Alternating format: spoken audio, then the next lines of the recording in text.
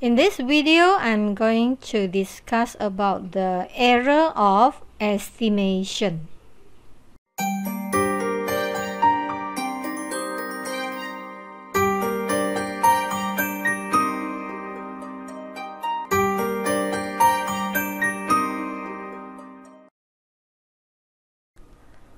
For the point estimation, the difference between the estimate and the true parameter value is called standard error.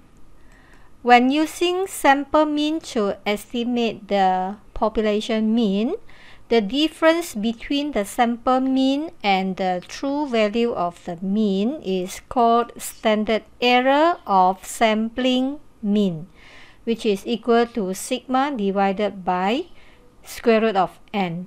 This is the standard deviation of the sampling distribution of the sample mean. When using sample proportion to estimate the population proportion, the difference between the sample proportion and the population proportion is called standard error of sampling proportion, which is equal to square root of p times q divided by n this is the standard deviation of the sampling distribution of the sample proportion. For interval estimation, when using confidence interval to estimate the population mean, the interval produced contains the population mean at a specified confidence level. If the sample mean is different from the population mean, then the difference between the sample mean and the population mean is called the error of the estimation. The sample mean can be less than or greater than the population mean. But this error is still acceptable if the interval is still including the population mean under the specified confidence level. If the difference between the sample mean and the population mean is increasing, where the population mean is same as the lower limit or same as the upper limit, then this error is the maximum error acceptable. The value of the maximum error is equal to z alpha over 2 times the standard deviation of the sample mean. And for the population proportion, the maximum error is equal to z alpha over 2 times the standard deviation of the sample proportion. So for conclusion, for confidence interval, the difference between the sample mean and the population mean is the estimation error or sometimes it is also called as maximum error of sampling mean which is equal to z alpha over 2 times the standard deviation of the sample mean. The difference between the sample proportion and the population proportion is the estimate error or the maximum error of the sampling proportion which is equal to z alpha over 2 times the standard deviation of the sample proportion. Now we have learned that the estimation error for the population mean is equal to z times the standard deviation of the sample mean and the estimation error for the population proportion is equal to z times the standard deviation of the sample proportion. So now I'm going to discuss if the sample size changes what are the effects on the estimation error, the width of the confidence interval, and the confidence level. Now, if I wish to keep the confidence level unchanged, and since Z value is related to the confidence level, if the confidence level unchanged, then the Z value is also unchanged. So now I'm going to ignore the z value. So now when the sample size increases and since error is inverse proportional to the sample size, so when sample size increases, then the estimation error decreases. When the error decreases, then the width of the confidence interval becomes smaller. So when the width of the confidence interval becomes smaller with the confidence level unchanged, then the precision is increasing or the accuracy of the result increases. So similarly, when the sample size decreases, the error increases, the confidence level is becomes wider, then the precision decreases. Now, if I wish to keep the estimation error unchanged, when the estimation error unchanged, then the width of the confidence interval also unchanged. And when I rearrange the equation and I ignore the value of the error, so we can see that the sample size is direct proportional to the z value here. So when the sample size increase, then the z value also increase.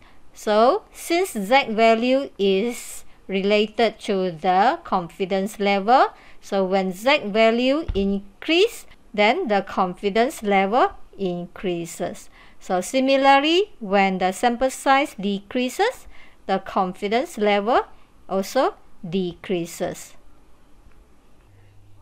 Now I'm going to discuss if the confidence level changes, what are the effects on the sample size, the estimation error, and the width of the confidence interval. If I wish to keep the sample size unchanged and when the confidence level increases means the z value also increases when z value increases, then the estimation error increases. When estimation error increases, then the width of the confidence interval also becomes bigger. So therefore, the precision of the result decreases. Similarly, when the confidence level decreases, the error decreases, then the confidence interval becomes smaller then therefore the precision of the result increases. If I wish to keep the estimation error unchanged, then the width of the confidence interval also unchanged.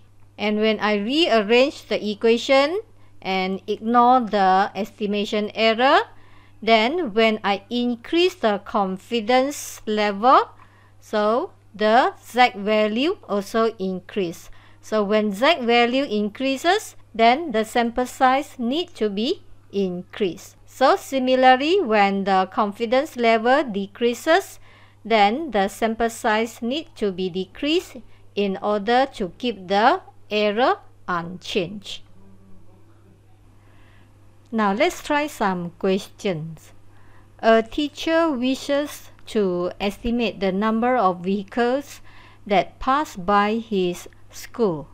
According to a previous study, the standard deviation of the number of vehicles passing by his school per day is 245. Calculate the number of days required so that he is 99% confident that the estimate is within 100 vehicles of the true mean. Now the statement the estimate is within 100 vehicles of the true mean. This statement means the difference between the estimate value and the true value is less than or equal to 100. So that is the estimation error is less than or equal to 100. And the confidence level is 99%.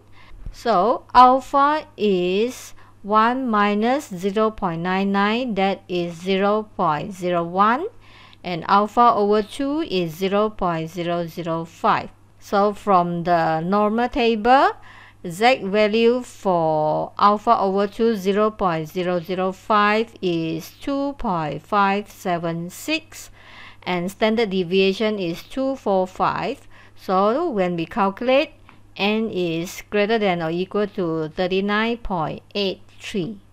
And since n represents the number of days. So this is an integer. So therefore, the number of days required is 40. Question B. The standard deviation of the number of vehicles is actually 356. Based on the sample size in A, determine the confidence level for the estimate to be within 100 vehicles of the true mean. Given that the estimation error is within 100, which is less than or equal to 100, with the actual standard deviation 356 and sample size 40, when I calculate, the z value of alpha over 2 is less than or equal to 1.777. And when we look at this diagram, when z value is 1.777, this shaded region is the value of alpha over 2. That is, alpha over 2 is the probability when z is greater than 1.777. z greater than 1.777 is equal to 1 minus z less than 1.777 and from the normal table it is 0.9622. So therefore alpha over 2 is 0.0378 and alpha is 0.0378 times 2 it is 0.0756 then for confidence level it is 1 minus alpha. And the confidence level is in the form of percentage which is 92.44 percent and since z alpha over 2 is less than or equal to 1.777, therefore the confidence level is also less than or equal to 92.44%. Next example. Jane chooses a random sample of 200 people from her town and finds that 38 live in apartments. She uses the sample to give a confidence interval of width 0.1 for this proportion. This interval is an X percent confidence interval. Find the value of X. From the question, we know that the width of the confidence interval for the population proportion is 0.1 and since the estimation error is equal to half of the width of the confidence interval so therefore the estimation error is equal to 0.1 divided by 2 with the sample proportion is 38 over 200 and sample size is 200 so when I calculate, I find that Z alpha over 2 is 1.8025, which means alpha over 2 is equal to the probability when Z is greater than 1.8025. From the normal table, it is equal to 0.0357 and alpha is 0 0.0357 times 2 it is 0 0.0714 So therefore, x is the confidence level which is 1 minus alpha times 100 and it is 92.86%. The second part of the question, due to some financial problems, she decided to change the sample size to 100. State the possible effect if she wishes to keep the accuracy of the result unchanged. We know that this is the estimation error for the population proportion. When the accuracy unchanged means the error is also unchanged. When the error unchanged, then the sample size is directly proportional to the z value. So when we reduce the sample size, this will cause the z value decrease in order to keep the error unchanged. If the z value decrease, this means that the confidence level also decrease. So therefore, the possible effect is the confidence level decreases. Next example. Siti conducted a market survey in a town to estimate the proportion of children like McDonald in the town.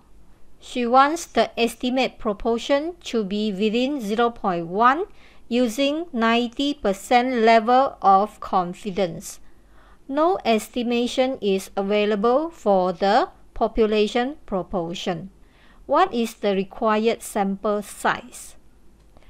If the estimation proportion is unavailable, then 0.5 is used because when the estimate proportion is equal to 0.5 then the standard deviation is the maximum value. So therefore we choose pH as 0.5 Z value when the confidence level 90% so Z value is 1.65 and the estimate proportion is to be within 0.1 so means the estimation error is less than or equal to 0.1. So when calculate, we find that n is greater than or equal to 68.0625. And since n represents the sample size, which is the integer value, so therefore n is equal to 69.